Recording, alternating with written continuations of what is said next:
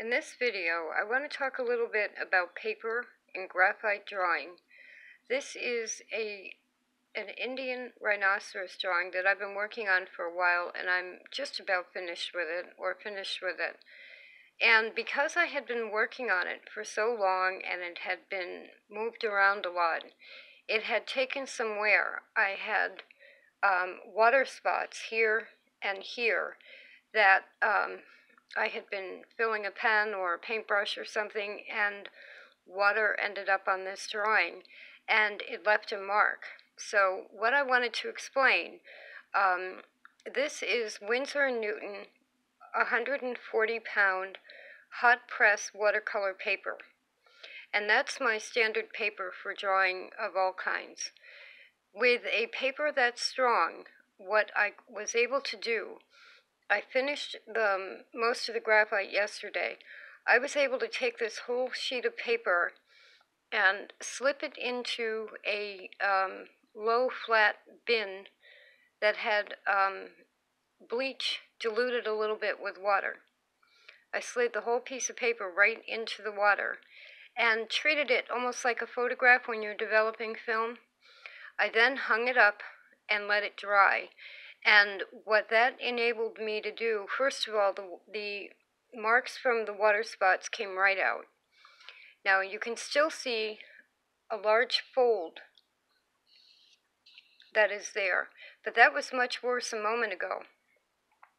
Because what I am now doing is I am uh, taking the drawing, I'm putting it drawing side down on an ironing board, and I'm pressing the paper and I am using a sheet of copy paper in between the drawing and the iron.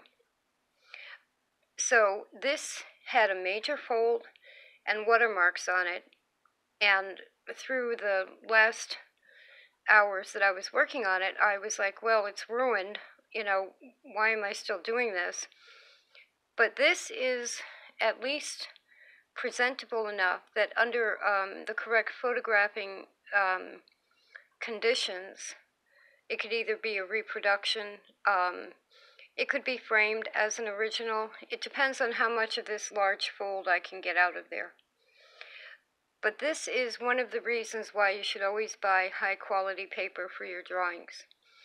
Only with something such as 140 pound hot press watercolor paper could I soak the whole sheet with the drawing right on it. The drawing didn't shift at all because it's graphite.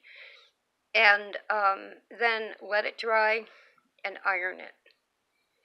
That's the quality of the cotton paper. So um, this is just something you can do, and I'm going to continue to iron this and get as much as I can of this one major wrinkle out of there.